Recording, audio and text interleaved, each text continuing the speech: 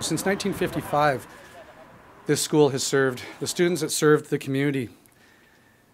What's really important about today's announcement is continuing on with that legacy, keeping the historical aspect of this building by also ensuring we have safety uh, for our students in this school, which is why I'm pleased to announce $11.6 million out of our seismic mitigation plan to this school towards seismically upgrading this school for the safety of our students. Today is a great day for our school and our community. This project is an example of the teamwork and strong partnerships, a project that will greatly improve the safety for students, teachers, and staff. In British Columbia, you know that we have a strong fiscal program. We balance our budgets. We create surpluses at the end of our fiscal years.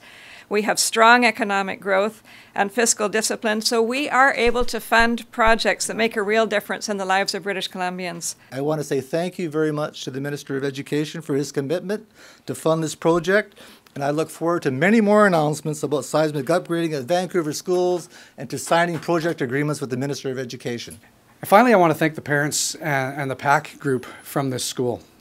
You know, it's really important when we have volunteers and people who dedicate their time to students, dedicate their time uh, to the community, and dedicate their time to really lobbying for what is needed for your students. And I want to thank you. Your voice is important. It's one that uh, that we listen to, and that's why I think today is a great, uh, exciting announcement for me because that's working with the local MLA, with the board, with the PAC groups. It's all about ensuring that we have the best education for our students and the safest opportunities for our kids to have that. So thank you very much uh, for coming out today. It's real pleasure to be here for part of this announcement.